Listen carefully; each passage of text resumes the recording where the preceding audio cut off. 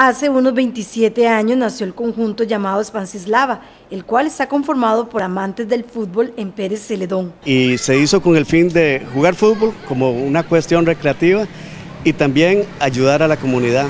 Y así es como hemos hecho bastantes obras eh, en este cantón, eh, de alguna forma a la comunidad. Debo aclarar, de ese equipo original solo existo yo.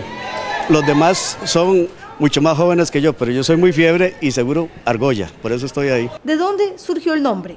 Es que cuando se fundó, eh, casi todos los jugadores eran eh, medios panzoncillos, así como yo, y eh, cuando eso la generaleña de ese momento había ido a hacer una gira a Checoslovaquia, y allá como todos los equipos terminan en lava, y esa gira fue un poco, un poco desastrosa para, para, para este cantón, entonces, en honor a eso, como una cuestión anecdótica, se puso Spansis de panzones y lava por esa terminación lava, pero también por panzones y lavados. ¿Cuál es el requisito para formar parte? El requisito es ser fiebre y ser buen futbolista, ahí sí, yo me defiendo.